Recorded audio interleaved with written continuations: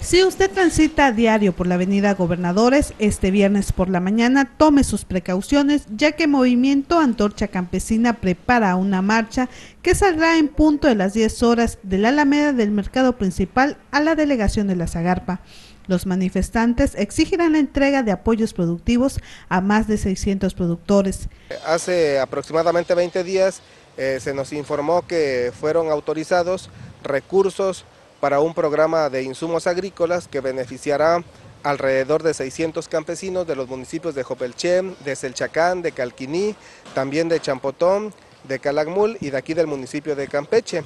Sin embargo, apenas este lunes que se estaban empezando a entregar los expedientes, se nos empiezan a pedir otros documentos que originalmente no se nos había dicho. El dirigente de este movimiento se dijo cansado de que el delegado de la Zagarpa, Víctor Salinas Balán, solo dé largas a los apoyos y hasta ahora no lleguen por constantes trabas del funcionario federal. Están diciendo que tenemos que traer unas actas selladas en asamblea, este, también por el registro agrario nacional y con las referencias geográficas en coordenadas eh, que se tienen que sacar a través de, de GPS y todo. La preocupación de los productores se incrementa porque el 20 de agosto concluye el plazo para el cierre de ventanillas del programa de apoyos productivos y los recursos no han sido entregados. Con imágenes de Jorge Martínez, Telema Noticias, Nancy Hernández.